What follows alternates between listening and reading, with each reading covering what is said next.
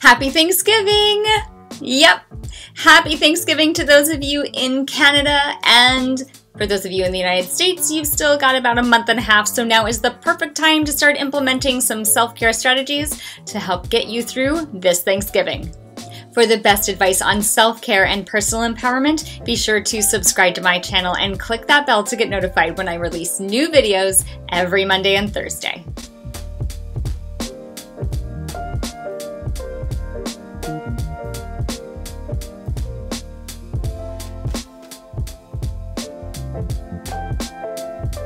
Thanksgiving is one of those holidays that bring us together across the miles and over the dinner table. But for a lot of us, it can also mean overwhelm, anxiety, and stress. Today, I'm going to share with you my three tips for managing your self care during the Thanksgiving holiday. Thanksgiving self care tip number one keep the focus on the gratitude. Now, I know that that sounds simple, but in the midst of this holiday, we can tend to lose sight of the fact that this is really what it's about.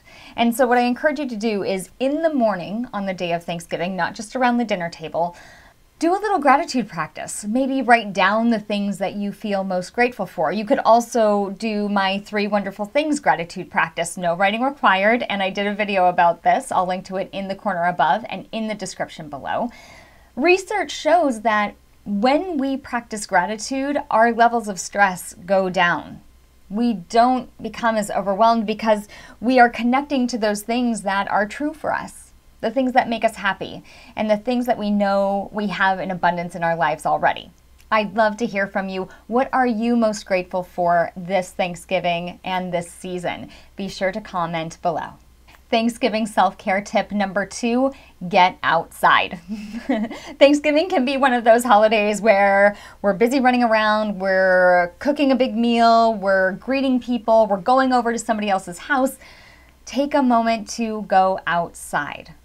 Research shows when we get out in nature, it increases those feel good endorphins in our body. And we need more of that, especially during what could be a stressful and overwhelming holiday.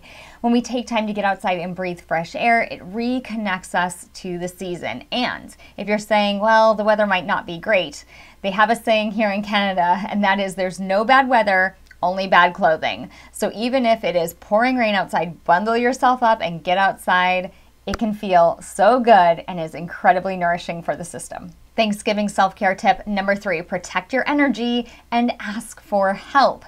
How many of us feel like we have to do everything during the holidays? I know it can feel like we have to get the house ready, make the meal, send the invitations, coordinate when people are coming, and we just don't we can ask for help. And trust me, nothing feels better than seeing somebody's face when you say, Hey, would you mind helping me out with this? People like to feel needed, people like to feel appreciated and wanted.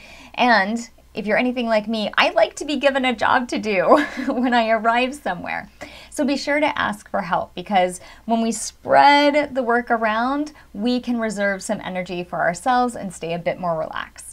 Are you curious about the difference between Canadian and US Thanksgivings? If you are, I want you to watch this video by Liane Bubs. I'm going to link to it in the description below. She shares some of her insights about the difference between these two holidays. I hope you found this video helpful and I wish you a very happy Thanksgiving. Stay ignited out there, stay in gratitude out there, and I will see you soon. Bye.